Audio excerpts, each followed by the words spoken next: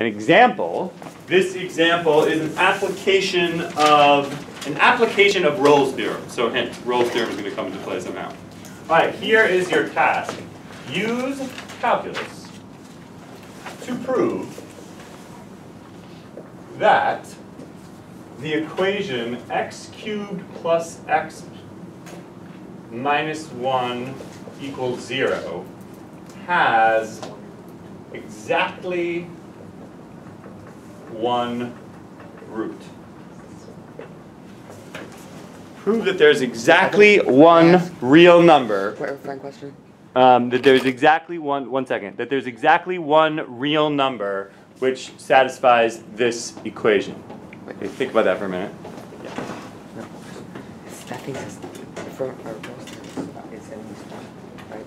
Because you Mhm, yep. he is like sine. Of course, because as we see right here, It just, as we see right here, it says, yeah, whenever a math theorem says there exists a point C, we always mean, whenever we say there is one, we mean at least one. oh yeah, it exists is like, you have E with an exclamation point. Is that what that means? um, Or is E with an exclamation point, uh, exactly one? I have a whiteboard marker, true or false? If we're being mathematicians. False. What? No, true. I have a whiteboard marker. I do have a marker. I have two, but I have one. Yeah. Exactly. Whenever we say there exists one, we mean at least one. Unless I go out of my way to say exactly one and underline it, which is what I'm doing here. So actually, I, I think what makes this problem tricky is that you guys are inexperienced with doing formal math proofs. It's it's very, very, very often in math that you have to prove that there's exactly one of some object. And it really goes in two stages. Does anyone like know what's up? Dan Chen, seem like a math boy.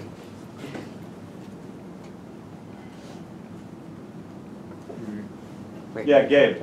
I don't really know, but maybe we could like factor it and then Wait, hold on. Before, before we talk about like algebra and stuff, can you just decompose um, the statement that there's exactly one root into like two simpler statements, which seem like it could be separately proved and then combined into the fact that there's exactly one.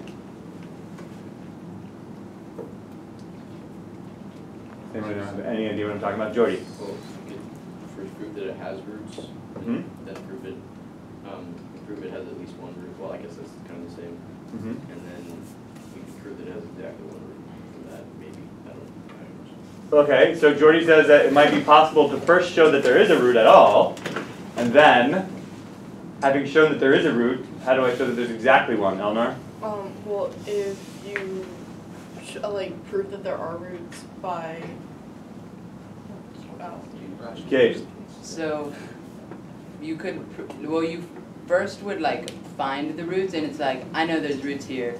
Okay. And then you would make intervals so that you show or find the one root. You Okay, let's just start, that let's just start. there Prove that, first okay. prove that, sorry man, prove there's a root. First prove there's a root, go. This should be pretty easy to do. Not super easy, Well, but kind when of when easy. we say root, you mean real root, right? Yeah, real root, mhm, Okay. yep, yep. All real, in this class, only real numbers ever.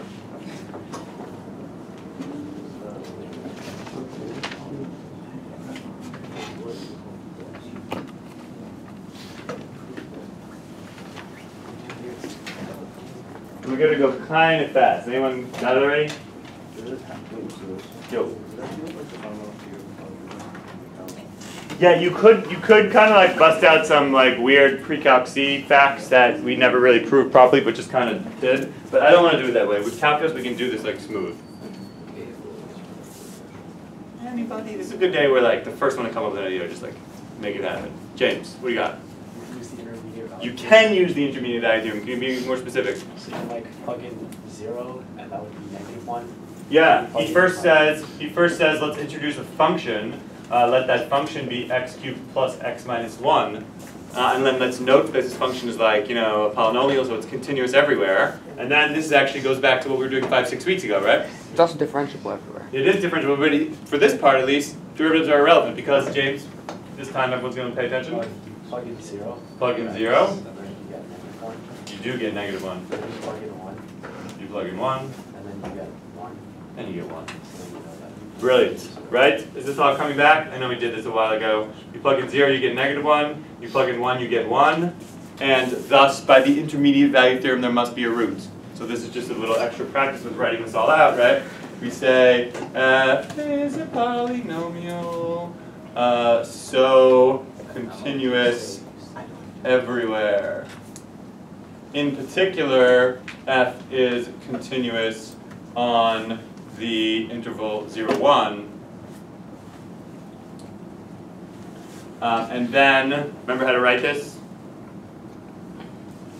Daniel Jacobson, do you remember this kind of stuff? Why does it have a root? Do you remember? Um, Just because it crosses by the intermediate value theorem, it must pass zero on its way from negative one to one.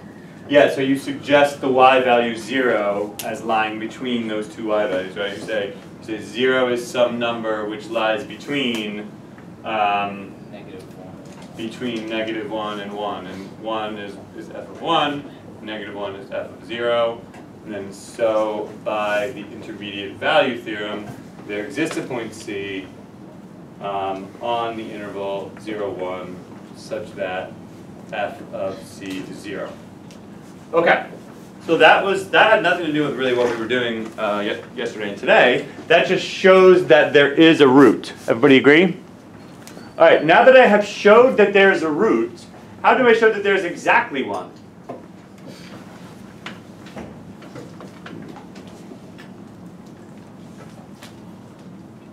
Gabe, Um, it's kind of like precalc but like you could, like, oh, wait, Oh, again, never this isn't mind, even a never math question, that. this is just a basic logic question. oh, Yeah, And ensure that the function doesn't turn around to go back towards. yeah, you're doing more math. Okay, you guys just don't know how to um, do like math. So maybe I have, I have to owe period three an apology. In the back of my mind, I was thinking, period nine would nail this in a second. Um, Eleanor. You could just expand the interval. No, no, no, no, no. This is actually more general than, this is more general than calculus or anything. This is just, in general, how do you show that there exists a unique object? You first show that there is one, and then you just show that there's only one. How do you show that there's only one? there- there's not others. Show that there are not others. In other words, Yeah. yeah. Okay, I, I guess I guess this is just the moment So- where oh, I'm gonna learn how to do this.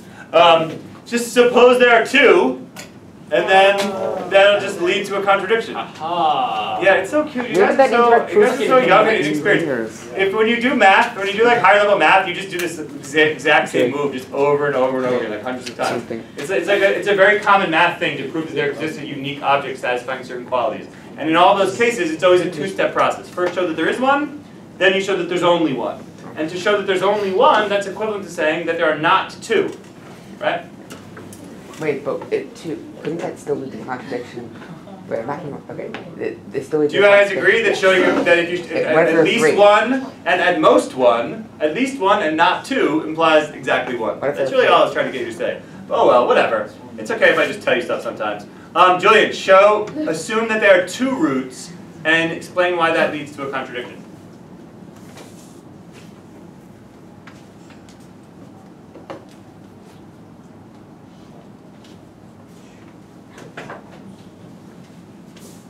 I have an idea.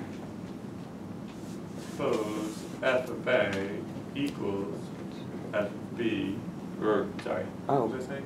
Yeah, equals zero. Oh, No, suppose there are two numbers which are both roots.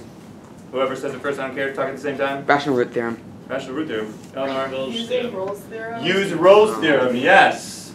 If I have two numbers, a and b, which both give me zero, then it seems like Rolle's theorem is applicable, right? Yeah. Because this function f is certainly continuous and differentiable, blah, blah, blah, blah, blah. So by Rolle's theorem, what?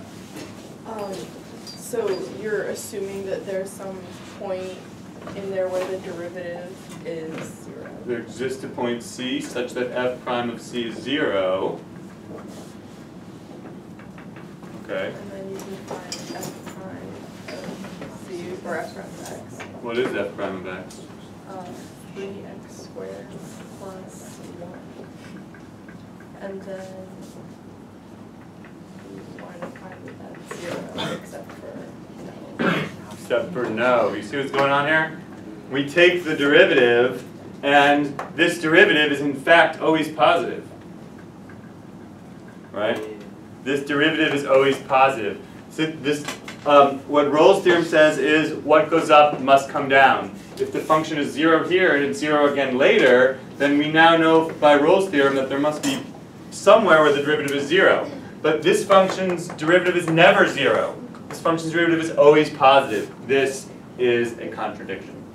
And so our supposition that there were two distinct numbers which were both roots has led to a contradiction. Follow? Okay, cool. That went 1% better than it went third period. Um, all right. Um, uh, gave no time. Now, in the last 25 minutes of class, we will talk about like the real actual goal of today, um, which is a really very important theorem. Can you guys close those blinds, please? This. Um, so, the actual important thing uh, for today is this theorem. It is so important. It is called the mean value theorem. And it is, I would say, the second most important theorem in all of calculus. And the mean value theorem is very related to Rolle's theorem. It's a very close cousin. And in fact, the mean value theorem is just Rolle's theorem, but you take out a condition, the third one. Uh, so, all right, let's just explore this. Suppose f is continuous on the closed interval AB and f is differentiable on the open interval AB. What can I then say about this function? Well, maybe I'll just draw one. Or maybe I'll draw four, just like before.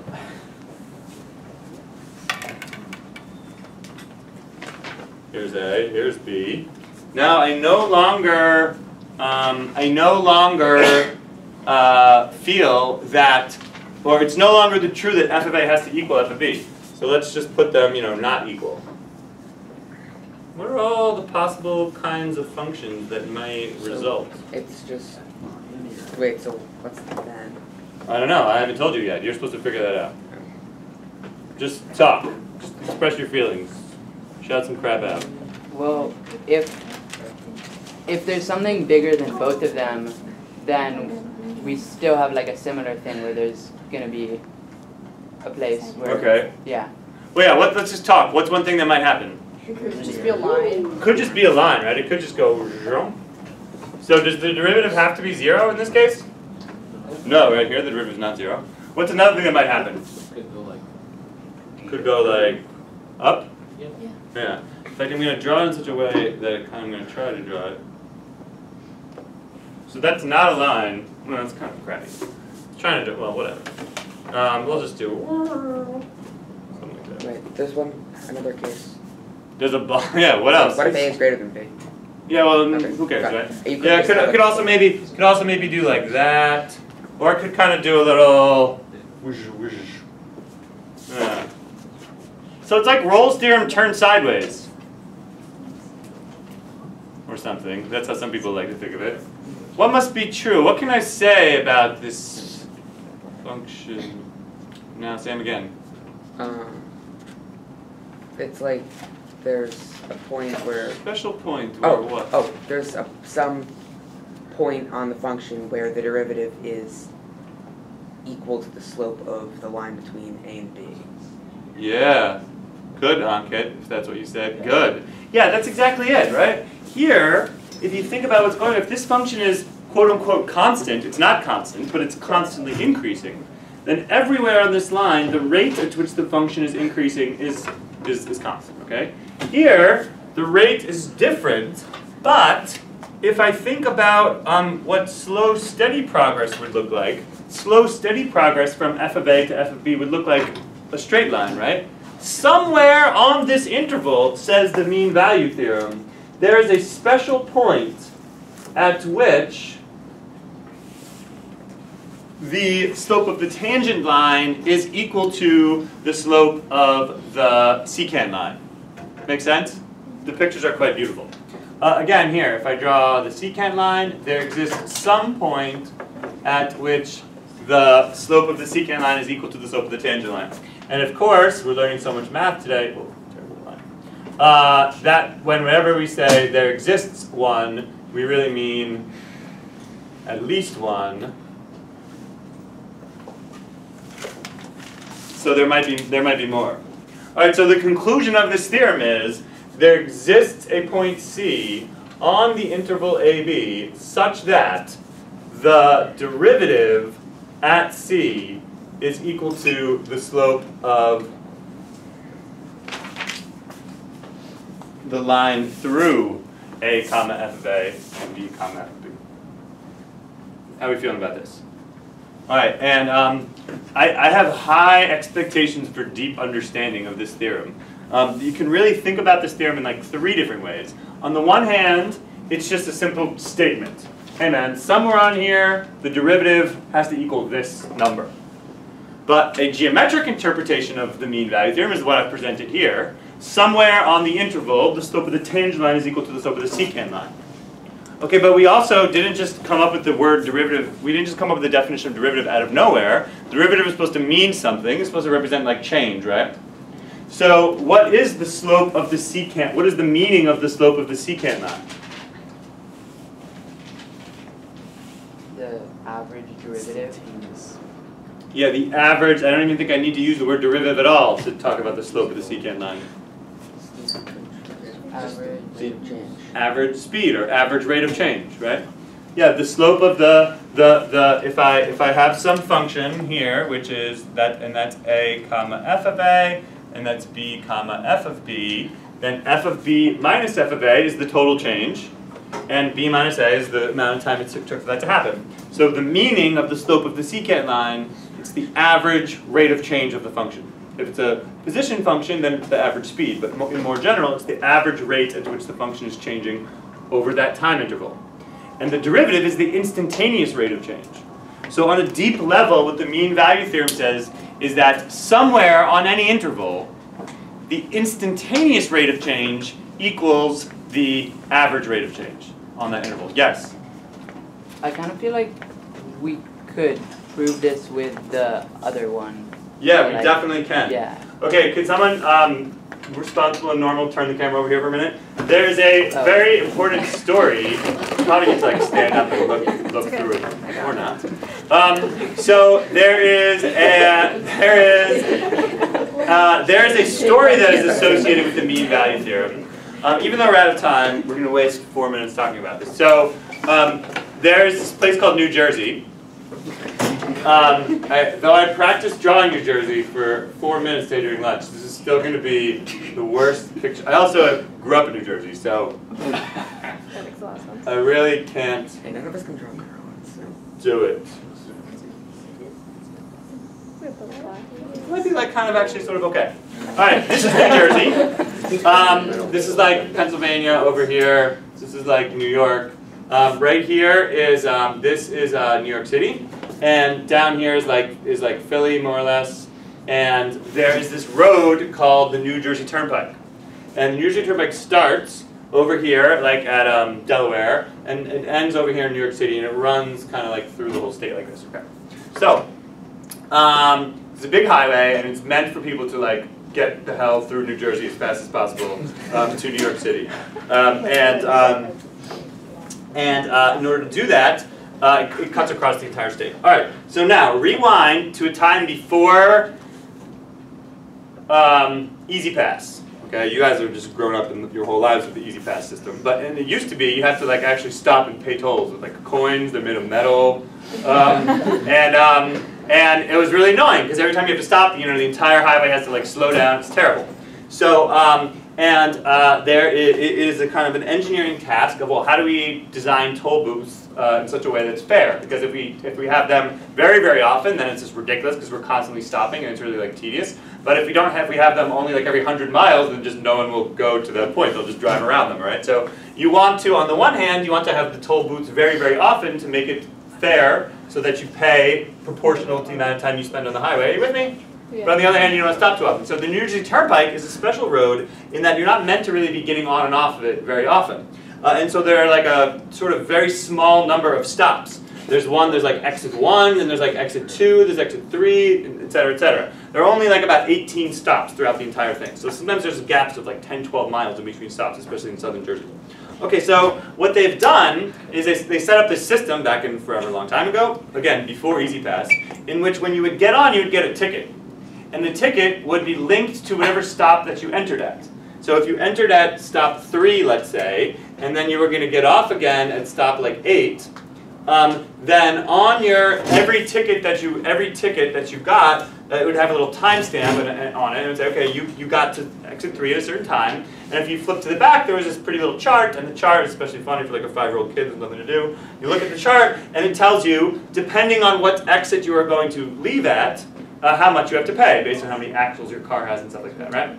And if you're going to go all the way, then you have the ticket starts at one, and if you lose your ticket, you have to pay as if you came all the way from here. Okay. So, uh, and then what happens is there's a toll booth. As you at every exit, there's a toll booth where you pay, and then you pay based proportionally on how long you've been on the road. Does everyone understand the story? Okay, so it's pretty easy. Um, the, now comes E-ZPass, and when we get E-ZPass, now uh, suddenly this is all automated for us, right? The E-ZPass thing will will will keep track of exactly which exit I entered at and which exit I exited from, and it will just do the math automatically. You can just drive and just pay hundreds of dollars and not think about it. Um, okay, well, something interesting happened. As a side note, uh, or as a, as, a, as a side result of the prevalence of E-ZPass, suddenly the following situation could happen. Let's say that this entire distance is um, 100 miles, um, which I think is approximately correct, or approximately maybe not correct at all. Uh, so let's just say when you get on, suppose you're driving to New York City, and you um, enter at 8 a.m. and the E-ZPass um, computer notes that you entered at 8 a.m. And then you leave New York City at 9 a.m. Now, in addition to charging you, uh, in addition to charging you the $16 or whatever it is for your full use of the New Jersey Turnpike, uh, another fact about your morning was made apparent by this computer. What? Too much coffee. Yeah, um, I was going pretty fast, right? In fact, how fast was I going? 100 miles per hour. Key point here. Average. On average, on average, I was going 100 miles per hour. But there's no law against going a certain um, speed on average. The law says that at no point may you go 100 miles per hour. Okay, but uh, so what they proposed, this was like a hot, this was like a hot topic, like in the '90s when I was just getting my driver's license and still lived in New Jersey before I thankfully got the hell out of there. Um, uh, this was a, they, they proposed actually doing this. What would happen is you would get on, you would get off, and then a siren would go off, and um, a, a cop car would pull you over, and um, a policeman and a mathematician would get out and would tell you, well, sir, you have averaged 100 miles per hour over the last hour, and as your position function of your car is a continuous and differentiable function, by the mean value theorem, there must have existed a point at which you were going exactly 100 miles per hour, uh, and thus here's your ticket for this theoretical point that there goes. Yes, Gabe? Just think of all the time in court spent by people who don't know math arguing Yeah, against this. I know. Okay, good. Um, so, um, turn the camera back. That was a little bit of a diversion, but that is really what the mean value theorem says. The mean value theorem says that there exists a special point on every interval, which in some sense represents the interval.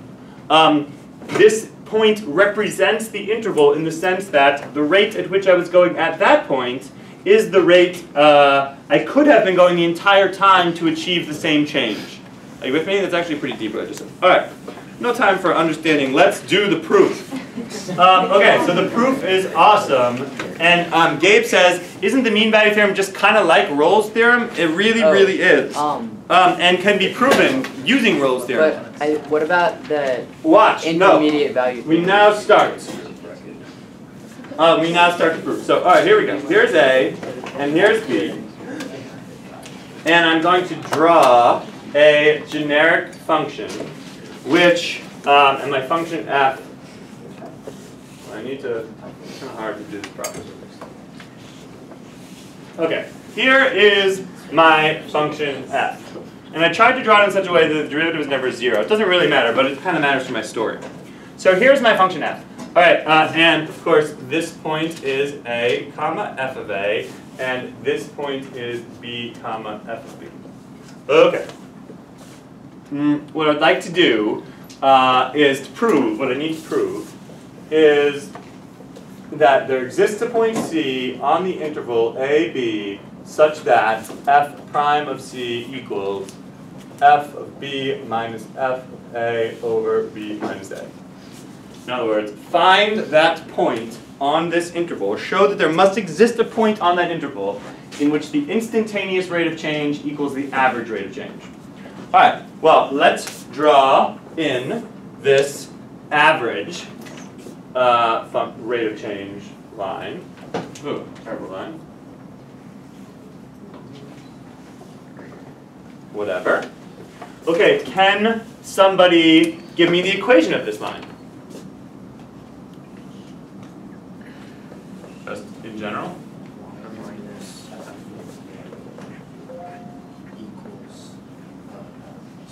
That, yeah, equals f of b minus f of a over b minus a. Yeah, perfect. Uh, yeah, that's just the line which is, goes through a comma f of a and has slope f of b minus f of a over b minus a. Everyone cool with that? Okay, so in order to be able to discuss this function, let's name it. Let's name this function g. So g is the line function. Uh, and, well, it's basically the same thing, right? Its slope is f of b minus f of a over b minus a times x minus a, and then I'll just add on that f of a. Alright. So g of x is a function which, given an input of x, will tell you where you are on that line. Everybody with me? Okay, no time. Um, so, what I need to prove, can somebody now restate thus what it is that I really kind of need to prove? Now that I have this function f and this function g floating around, another way of thinking about it is, Gabe? At some x, um, f prime of x equals g prime of x. Yeah, yeah. Another way of sta- another way of stating good, thank you. Another way of stating what we need to prove is that there exists a c such that f prime of c equals g prime of c. Right? Because what is the derivative of g after all? The derivative of g is just a constant. The derivative of g is just the slope of that line. So if I want to say that somewhere the derivative of f equals the slope of g, that's another way of saying somewhere I want those two functions to have the same derivative. I wonder how I will I will prove that these two functions have the same derivative somewhere. Let's see who's been paying attention to the heavily foreshadowed event that I mentioned multiple times. How can I show that these two functions have derivatives which are equal somewhere? Use Rolle's theorem. Rolle's theorem is going to come into play somehow. Do immediate value theorem. Do you make like a function which is the f prime of uh, c minus the g prime of c? Kind of, yeah, you got the right gist, right? If we want to show that two functions are equal somewhere, or in this case, we want to show that the derivatives of equal, oh, what we're going to do is we're going to construct a new function, which is the difference of those two functions. Yes, James, that is correct. Um, so watch. We will now make a new function h, and let h be uh, f of x minus g of x.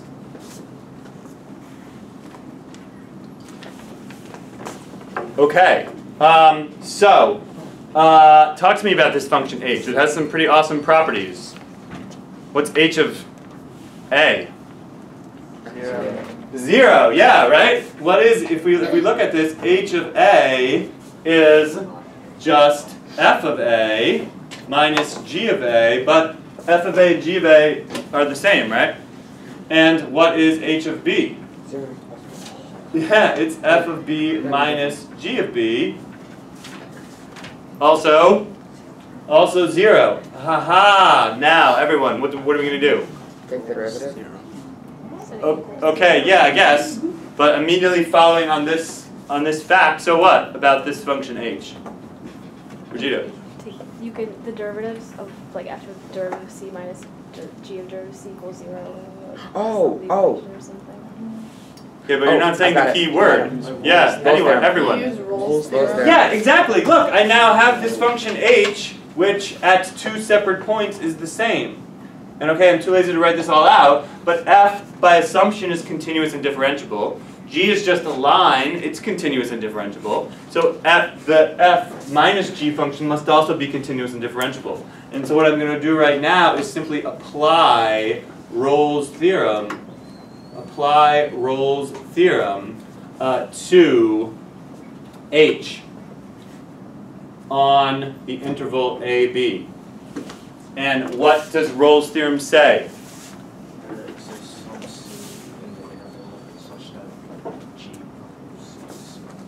There exists such that uh, h prime of c is zero.